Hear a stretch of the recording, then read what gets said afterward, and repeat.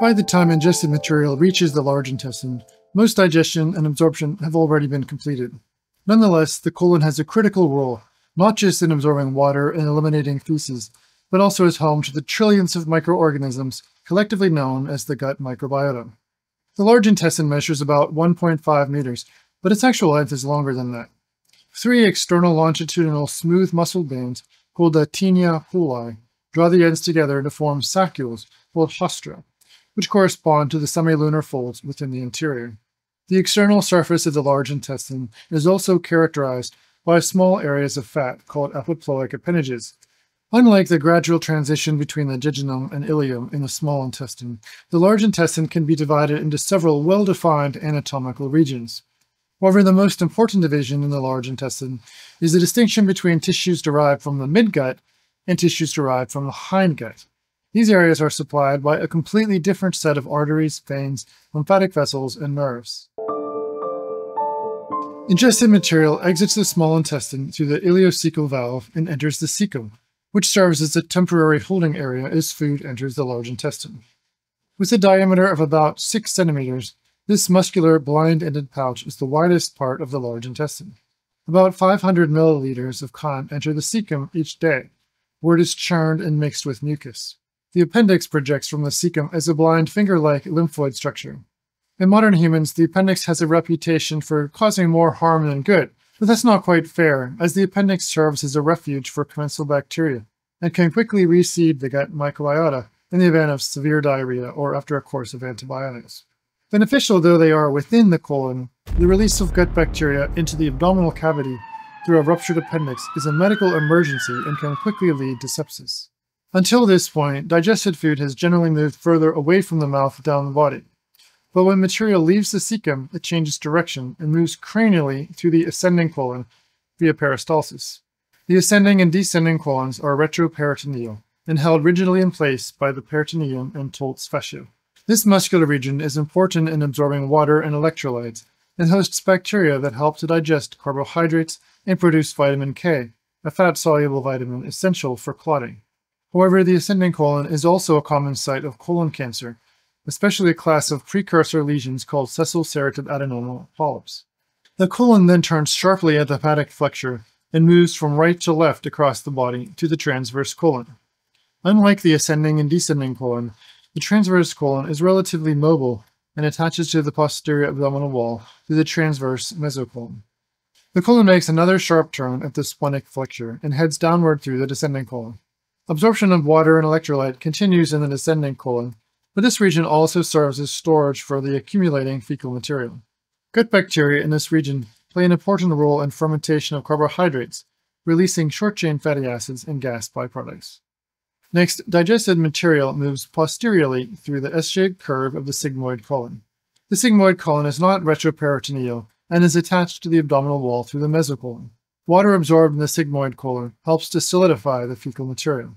Mechanoreceptors in the sigmoid colon monitor distension and trigger strong muscle contractions that propel stool through the sharp angle of the rectosigmoid junction into the rectum. Unlike the rest of the large intestine, the 12 to 15 centimeter long rectum lacks taenia coli, haustra, semilunar folds, and epiploic appendages. Instead, it contains distinctive transverse folds called Houston's valves and two bends, the sacral and perineal flexures. Entry of stool into the normally empty rectum activates stretch receptors.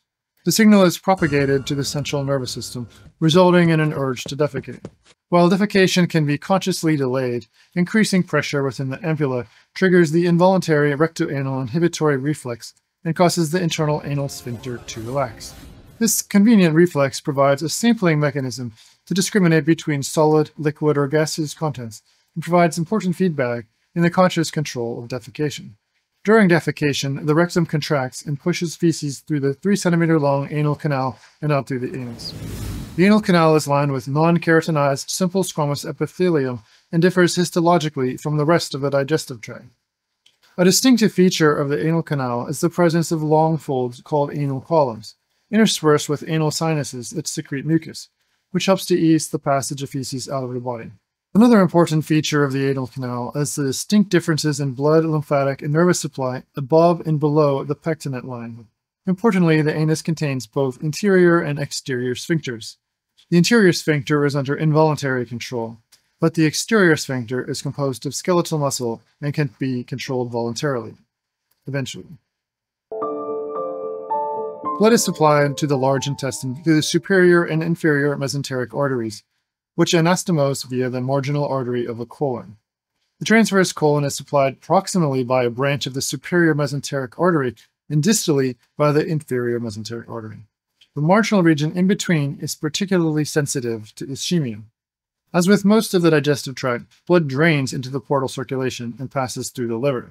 This allows the liver to process nutrients and helps to protect the body from xenobiotics and pathogens, but it also leaves the liver vulnerable as a site of metastasis. Disruption of the superior venous plexuses in the anus can cause hemorrhoids, which can cause pain and pruritus as well as bleeding. The enteric nervous system of the large intestine implements several intricate reflex arcs. In particular, distension of the stomach and entry of food into the duodenum trigger their gastrocolic and duodenocolic reflexes, which induce mass propulsion of stool toward the rectum. This often causes an urge to defecate shortly after eating.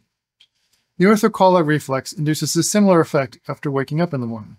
Smooth muscle contractions induce slow mixing through haustral contractions generated by the interstitial cells of Cajal. High amplitude giant migrating contractions also occur several times a day and propagate material rapidly through the colon. The enteric nervous system is capable of acting independently, but sympathetic stimulation to the superior and inferior mesenteric ganglia inhibit digestive activity as part of the fight or flight response. Conversely, parasympathetic stimulation by the vagus nerve in the midgut derived regions and the pelvic nerves in the hindgut derived regions promote digestive activity, i.e., rest and digest. Efficient movement of fecal matter through the large intestine is crucial for health, and disruptions often lead to either constipation or diarrhea.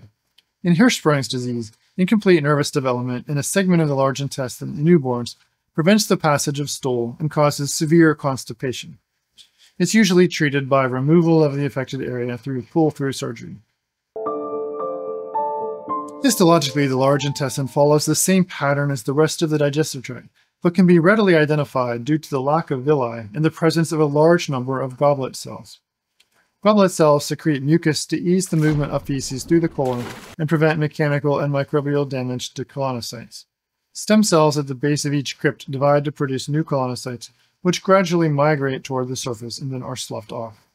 Some cells differentiate into neuroendocrine cells, such as the L cells, which secrete peptide YY. This substance slows gastric motility and increases absorption in the colon as part of the ileal brake negative feedback loop. Similarly, the enterochromaffin cells release the neurotransmitter 5-HT, or serotonin, which modulates secretion and motility in the enteric nervous system. While the high cell turnover in the large intestine is protective, it also poses a cancer risk.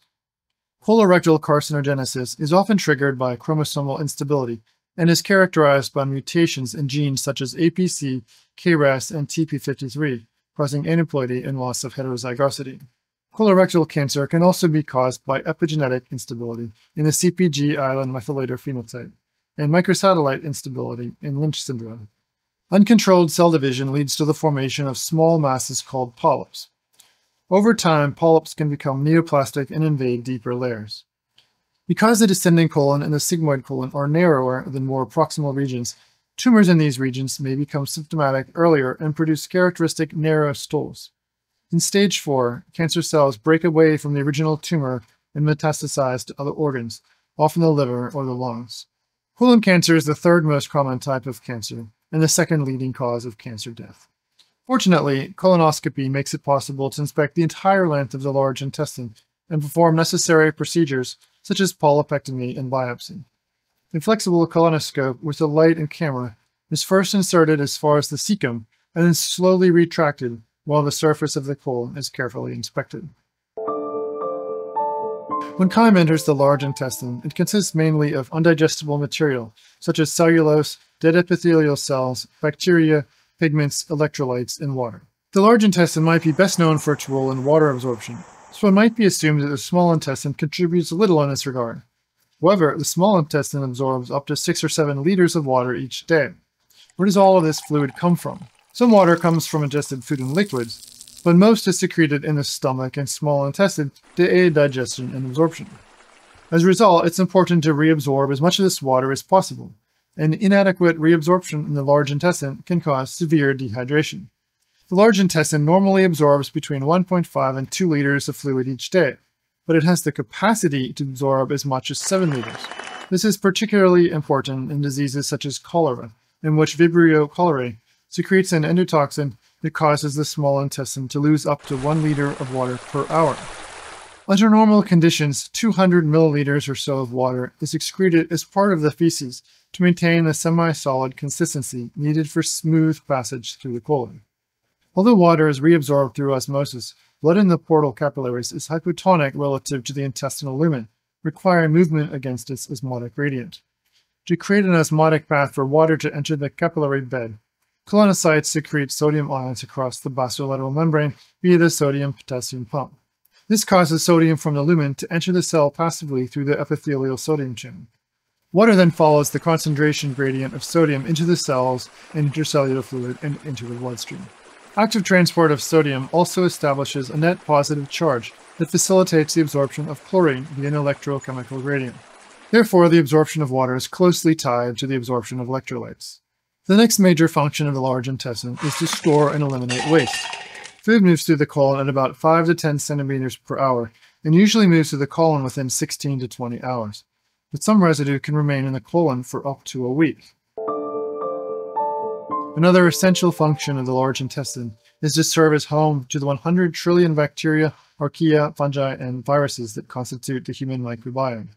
30 to 40 species account for 99% of the bacteria in the gut, especially Clostridium perfringens, Bacteroides fragilis, and Enterobacter aerogenes.